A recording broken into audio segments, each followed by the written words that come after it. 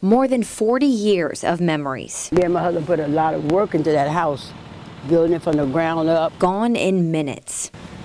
We thought that it would, it would last us a lifetime, and it, it didn't last a lifetime. Elizabeth Dukes was too shocked to show her face on camera today, but agreed to share with me the story of her home.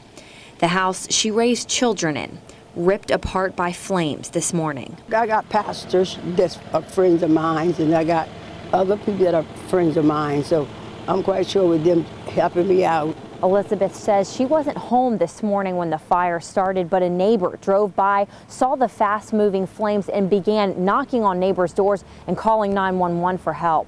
But then she said she, she didn't see my car here, so then she was, was kind of relieved. She knew I wasn't home.